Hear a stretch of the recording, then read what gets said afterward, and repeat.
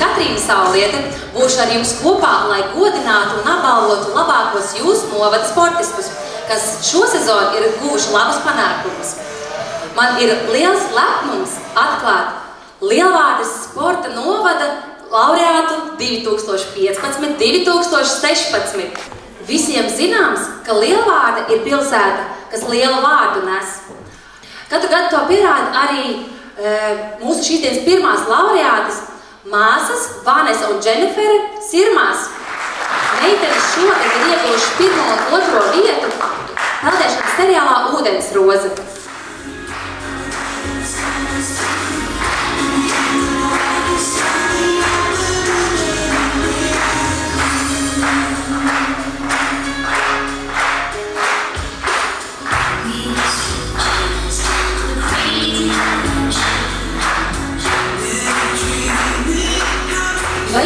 Tādas skaņas, kas bum, bum, bum, bum, bum? Kāds atpazīst? Bet noteikti šīs skaņas at- atpazīst Elmārs, Emīls, Reinis, Jānis, Tilaki un Gatis Tabūns. Kā arī eh, kopā ar viņiem vēlos aicināt uz skatuves Beāti Klipu, meiteni, kas noteikti zina, kas ir šīs pa skaņām. Bet vai šautriks esat metuši?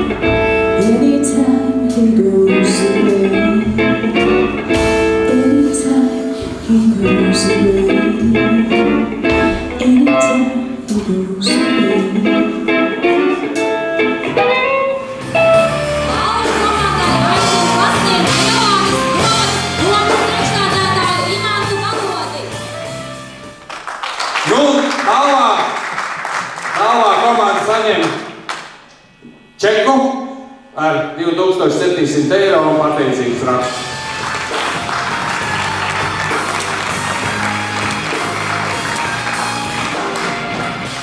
Ir lielvārdē.